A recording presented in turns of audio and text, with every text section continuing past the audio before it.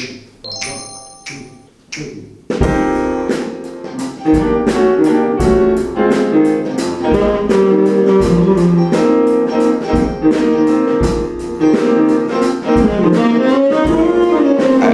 choose Macedonia. It's not the first time that I choose Macedonia. I choose this place because I um, love this place and, and I love the traditional music that exists here. That's very particular.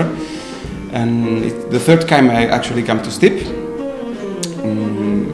I came like first time five years ago, and then four years ago, and then this year again.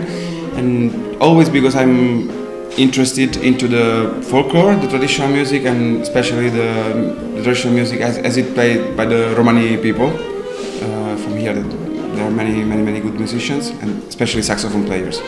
I'm a jazz musician. I grew up as a jazz musician. I, I do this. I compose and play.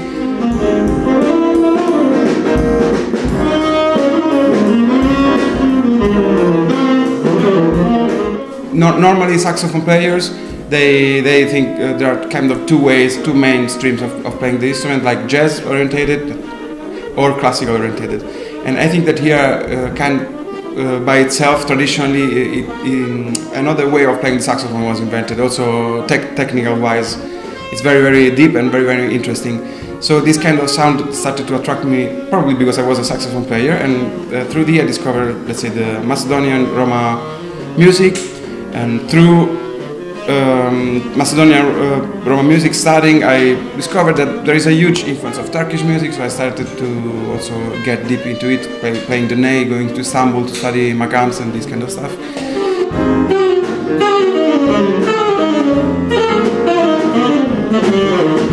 Of course, um, there is a lot of interaction. I, I love the Balkans because a lot of culture lives together. There is a lot of different heritages that are stratified to, all together and, and mixed. So uh, it's difficult like to, to like Macedonian music. I don't like Serbian music or Bulgarian music. So um, the purpo- purpose of my travel in this moment, it's um, of course get, getting more in touch with music and with the musicians in the area.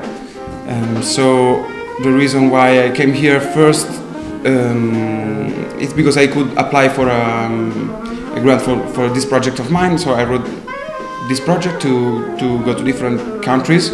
I started with Greece and then I started a road trip afterwards through Belgrade, um, Sofia, Plovdiv, and now I'm here in Stipi, Macedonia.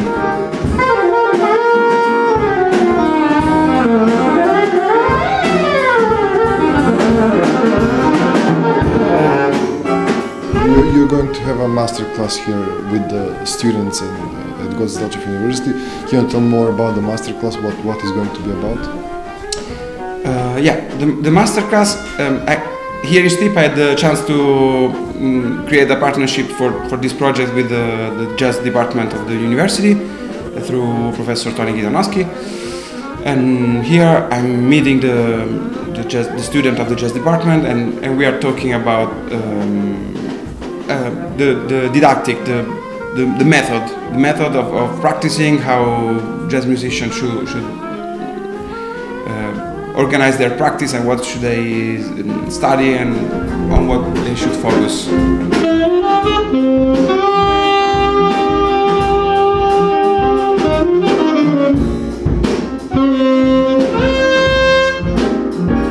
I hope that there will be more of this. At the moment, let's say I, I don't have plans. I have ideas, but uh, future, like in the next week. So something that's happening now. It's that yesterday night, 20 um, students of mine from Italy they arrived also here in Stip. Uh, because in the last years I started sharing my knowledge of the Balkan music with Italian musicians. There, um, there is not a lot of, about this topic in Italy, and so there is a lot of interest. So many musicians that are studying these kind of things with me. And I organized together with uh, Nizo and Sershuk Alim of their Romani amazing musicians from Stip a workshop here with the Italian guys coming to study Balkan music. They arrived yesterday, and from tomorrow for four days there will be this workshop here in Stip. I think it's a very nice connection.